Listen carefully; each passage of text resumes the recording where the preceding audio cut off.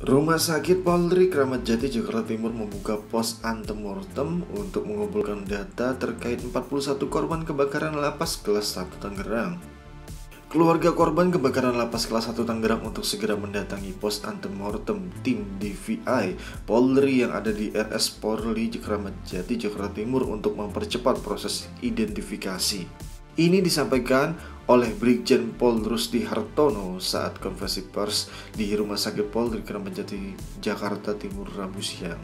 Mempermudah daripada kerja tim tersebut, tentunya tim membutuhkan bukti-bukti dari para korban. Oleh karena itu, Rumah Sakit Polri telah membuka satu pos antemortem yaitu pos yang digunakan untuk mencari data-data sebelum korban ini meninggal dunia. Baik data primer maupun data sekunder. Oleh karena itu dari tim memohon kepada keluarga agar dapat segera ke pos antemortem untuk memberikan data-data yang berkaitan dengan 41 korban yang telah diterima oleh rumah sakit Polri.